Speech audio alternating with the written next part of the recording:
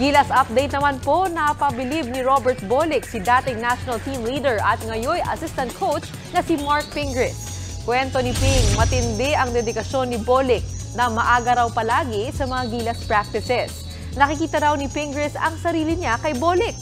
Game na game naman si Ping na tumayong mentor. Lagi ko sinasabi sa kanya na magiging maintenance mo yan, ano, yung workout habang buhay mo nang gagawin yan habang naglalaro ka ng basketball. Kasi yan ang puhunan natin, katawan.